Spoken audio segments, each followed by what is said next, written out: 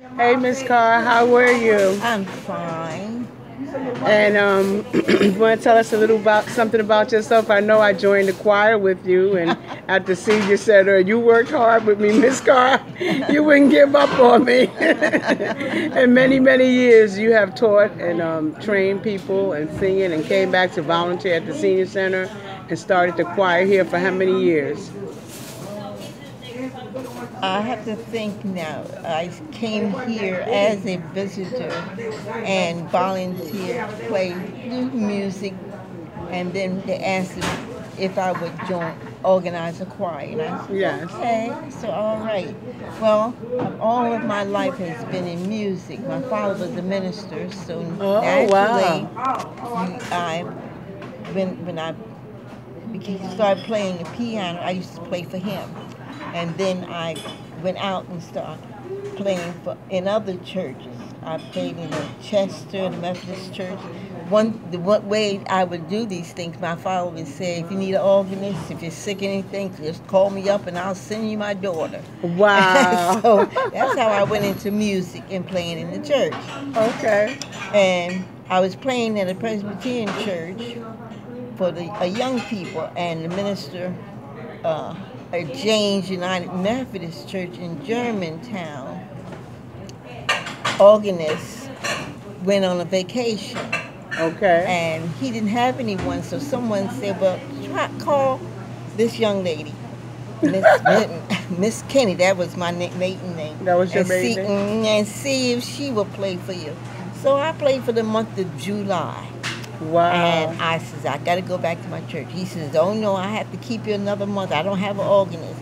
And so he kept saying he had an organist. I said, Now wait a minute. I ended up staying at that church for 45 years oh, is that true? as organist. And I know, Miss Carr, you had told me, I had asked you, and I know you're committed. I gave an event, and Miss Carr, I get for honoring uh, mothers, girls, and teachers, was the M, um, MGT, Mothers, Girls, and Teachers, and she helped me um, organize it, and she got honored on that day. And I want to thank you for taking your time. She is committed. I really enjoyed doing that.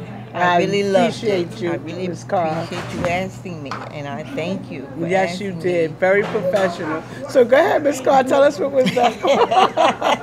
I know you got so much to tell us, but we want to hear a little more. but anyway, I uh, um, we all not only organized six other choirs, but we organized what you call a fellowship choir, Okay. and that that that brought in um, twenty some other churches. Wow. They had choir members that were willing to sing, just you know, volunteer, sing, sing, and give concerts. I had a, on my choir a lady, uh, a soprano. Uh, she actually was a contralto, but she could sing soprano and alto, and she was terrific. And she taught music at the uh, at one of the music schools in Philadelphia. Right. So she says, if you will play for me, Miss Anderson, she said, I want to organize this fellowship choir. And I said, okay, I'll help you. And so uh, I stayed with her for 15 years. Oh wow. And I played for her. And finally, I decided that after 45 years, it was time for me to retire. oh come on, Miss. But wait, in between, didn't you find somebody? Did you get married? Yes, I did. Oh, go I taught in in Elkton, Maryland for two years, and I met a young man there. But then uh, I didn't I didn't. We didn't we didn't married. He he taught in the school I was in, Oh. industrial arts. Okay. But then I decided to move back to Philadelphia, which I did. And that's Okay. when I became involved with James Church. Well, when I came, when it was time for me to retire, I had a girlfriend who who lived in Elkton, Maryland, still lived there, mm-hmm. and she she kept saying, "Oh, you got to come and visit me." Then finally, she told this young man after he had Uh-oh, married uh-oh. and buried his first wife, said, "I know where Bernice is," and he said, "Where is she?" In Philadelphia. So he came to Philadelphia. I tried to avoid seeing him. Did you? Uh oh. Finally, he caught up with me. He caught up with you.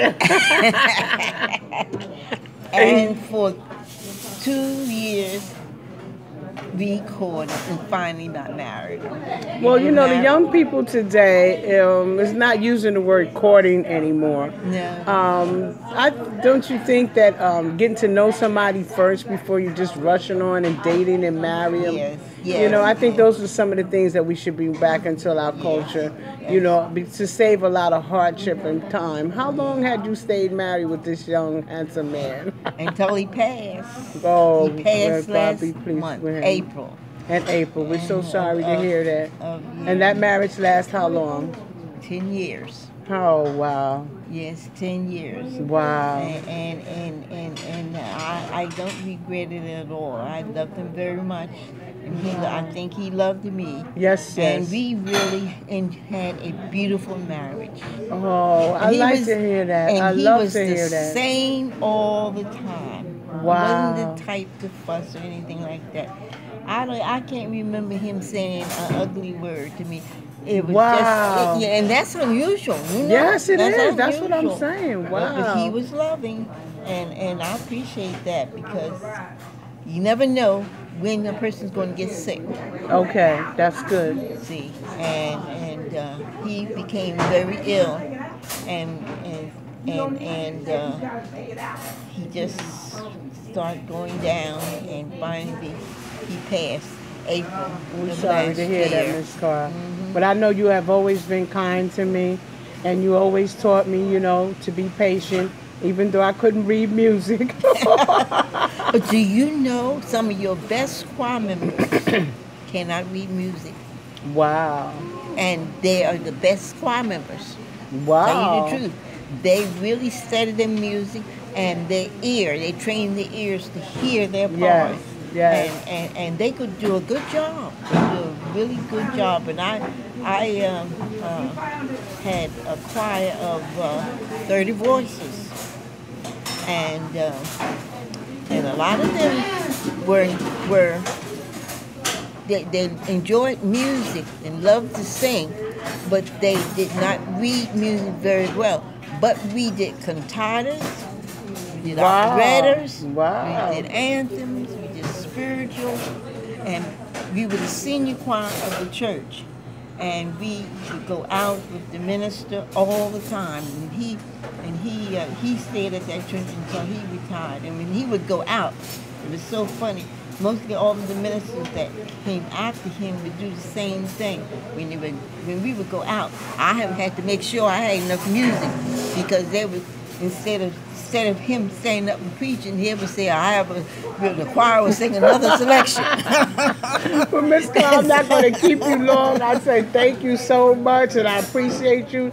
This is Miss Carr, my my. I can, I'm a claimer. All right. she taught me so much, and we love you, Miss Carr. May God I bless you. you too. Thank You you. continue to do good work. Thank you.